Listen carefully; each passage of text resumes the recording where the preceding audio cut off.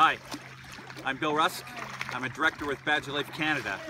We uh, deal with operational stress injuries, post-traumatic stress, suicide prevention, anxiety and depression in police and correctional personnel. We deal with First Nations, municipal and provincial police services, and corrections uh, all across Canada.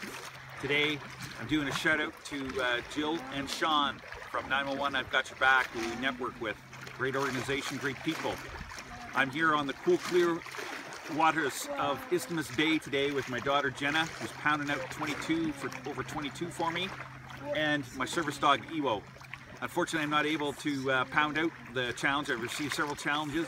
I haven't been able to do it because of my physical injuries and a reoccurrence of my post-traumatic stress.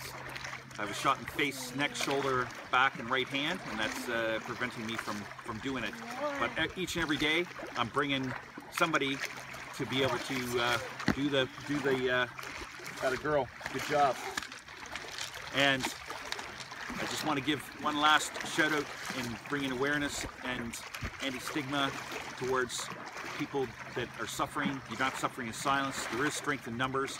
And a Sparta shout out to all my brothers and sisters out there in Sparta land. I love you.